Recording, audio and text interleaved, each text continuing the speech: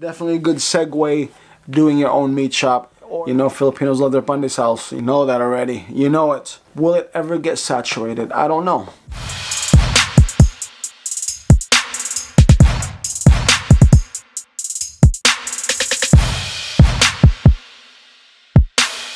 Hey everyone, this is Gilsar Vergara. Thank you for watching again. Thank you for coming to the show, to the channel. Uh, please throw me that like, comment down below with anything I can help you with. I'm trying to build this channel out. I'm trying to to get to the point where I can do this full time pretty much. So I'm really I'm really trying my best to work as hard as I can giving you these videos and things like that. So now I'm going to uh, do a quick video. This is gonna be super quick because there's not too many businesses on this list. Is gonna be a very small list, but I'm gonna give you what I believe those businesses that you can do within that budget and my thoughts on it pretty much. If you have any more business that you think you can do within that budget in that 100,000 to 300,000 peso range, comment down below. I'll look into it and give you my thoughts on it. Number one, bakery. You know Filipinos love their pandesals. You know that already. You know it. And Dumaguete, Pierogies, nuts. But from my knowledge, because of the equipment and things like that, uh, not including the rent and things like that, minimum 120,000 pesos, minimum. We actually have a oven in the in the building. We never used it. You know, my dad thought he would ba be baking, but never happened. Minimum 120,000 pesos uh, to start a bakery business. Obviously, location is everything when it comes to that because you want that, that foot traffic, that driving traffic for especially that morning rush. That's what you want pretty much.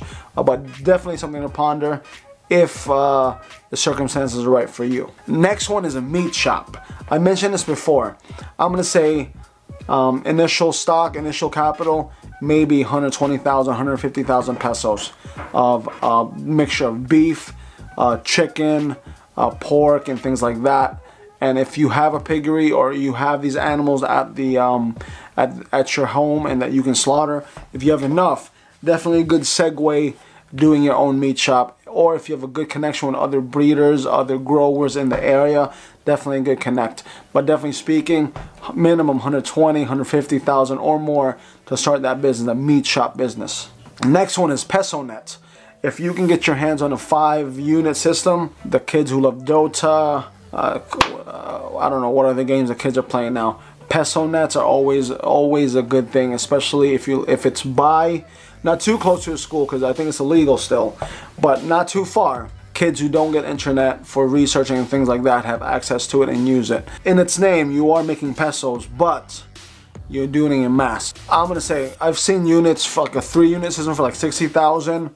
I've seen some for 125,000. Now, if you're at the house and things like that, it might work in your favor if you are in like the, the provincial type areas because if you do hook up like a long system there for, uh, for an antenna to get line of sight uh, you know, coverage and stuff like that, it might pan out for you, might do well for you. But minimum 120,000, 150,000, maybe even 175,000 to start that business. I could be wrong, but if you want to go decent, not the cheap stuff, you know, not, not bare minimum, just to put it up and stuff like that. That's one thing I have about Filipinos, like oh, just just enough. Just I just want to put just enough just to get the thing going. No, I want to get the best of what my money at that point in time can get. I would buy the best of the best of what I what my money can buy. You know what I'm saying? Concerning um, CPUs, video card graphics, whatever, and things like that. Next one is laundry shop. Minimum like 250,000 or more, maybe even more, maybe close to a million pesos, depending on if you have a if you have a legit one.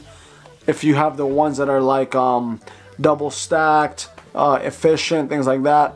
My brother Nathan did a feasibility study on a guy. He put up like five million for it right now. You know what I'm saying? It was huge and had a really good location, and it, it grew very good for him because of the location. A lot of that is location as well for a laundry service because don't be putting a laundry service in the middle of the province when not enough people are going to be purchasing the the uh, the the service if they can't afford it. You know what I'm saying? Obviously, that's that's that should be logic uh, you know, it's it all depends on your setup. But generally speaking, you can do something in a smaller scale, 250,000, and you can grow it from there. Next one is uh, the rotisserie chicken. Now, everybody loves eating in the Philippines. Everybody loves the chicken. Uh, Chooks to go, uh, liempo. Pretty much, there's a lot of things you can do with rotisserie. Uh, I even try. I, I even wandered into that territory of wanting to do it. But at that point in time, I wasn't really financially ready to make that commitment. You can invest into it with 250,000 pesos up to like maybe 450 from what I've seen 500,000 pesos.